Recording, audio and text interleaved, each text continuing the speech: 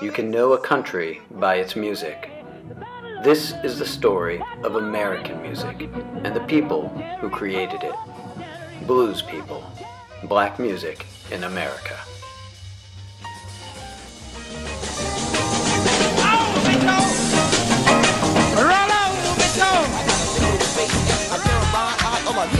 Part 4 Rock and Roll.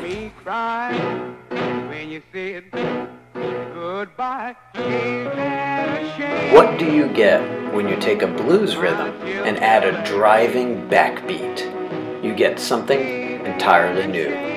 Rock and roll, a deeply American musical form shaped largely by African Americans such as Fats Domino.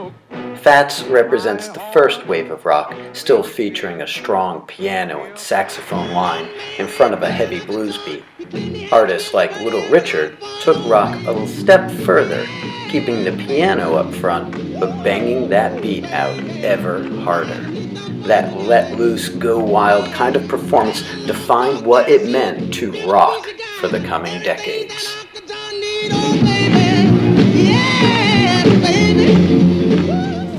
Other black rockers took the music to new heights, from Ray Charles to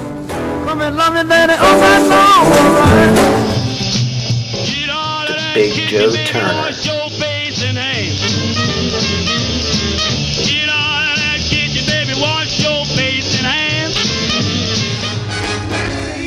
To Lloyd Price.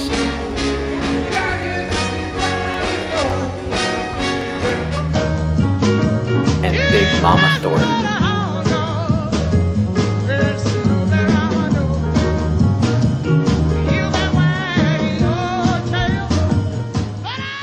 But something magical happened when Chuck Berry plugged in his electric guitar and gave rock and roll its signature instrumentation and sound, taking the guitar solo and all-out enthusiastic performances to their peak.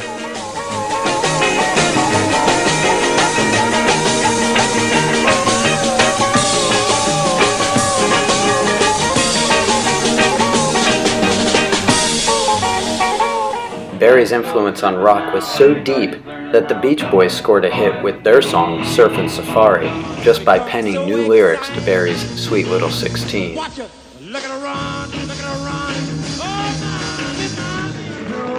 Many white artists joined in and added their contributions to rock and roll in those early days, people like Elvis and Buddy Holly. But rock owes its existence to the blues and to the black Americans who gave the blues a driving backbeat, creating a music that still keeps the world rockin' and rollin'.